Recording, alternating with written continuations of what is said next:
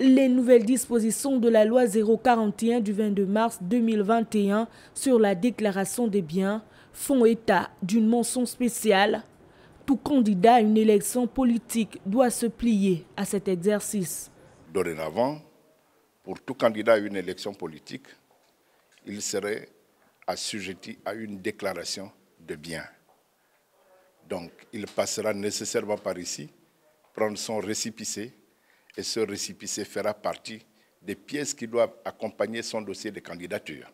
Adressés également aux agents publics, ces nouveaux textes vont plus loin et précisent.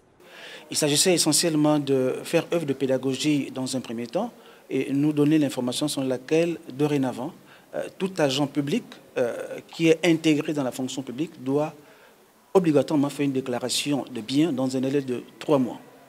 Ces nouvelles dispositions viennent renforcer les prérogatives de la commission de lutte contre la corruption et l'enrichissement illicite.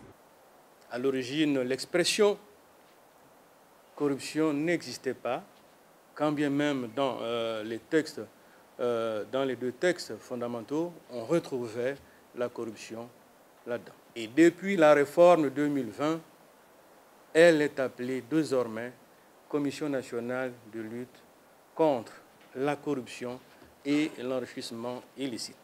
Pour rappel, l'institution en charge de la lutte contre la corruption et l'enrichissement illicite a été créée en 2003 en vue de lutter efficacement contre cette gangrène qu'est la corruption et ses corollaires.